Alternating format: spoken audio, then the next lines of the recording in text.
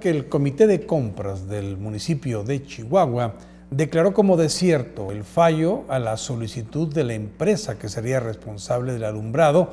debido a que de los 16 puntos solicitados por el municipio no se cumplió con ninguno, es decir, sospechas de irregularidades después de una serie de denuncias tanto por regidores como de otros sectores de la población, de que se estaba dando un tráfico de influencias para beneficiar específicamente a una compañía que estaba vinculada inclusive con funcionarios del propio municipio y después de toda esta polémica y esta denuncia que inclusive acreditara el síndico del, del municipio de Chihuahua, pues se da marcha atrás a una inversión de cerca de mil millones de pesos. Aquí el reporte. Enrique Valle Zavala, presidente del Comité de Compras en el proceso de licitación del alumbrado público, emitió como desierto el fallo a la solicitud de la única empresa que cumplió con los requisitos de la convocatoria.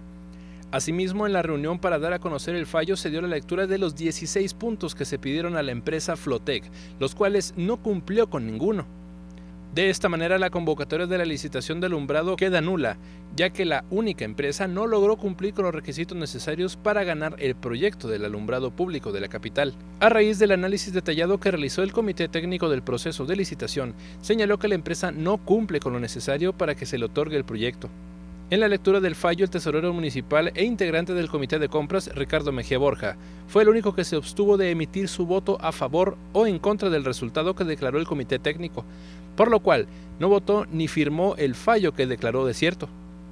ABC Noticias, Juan Carlos Ramírez. Pues mire, realmente ha quedado en evidencia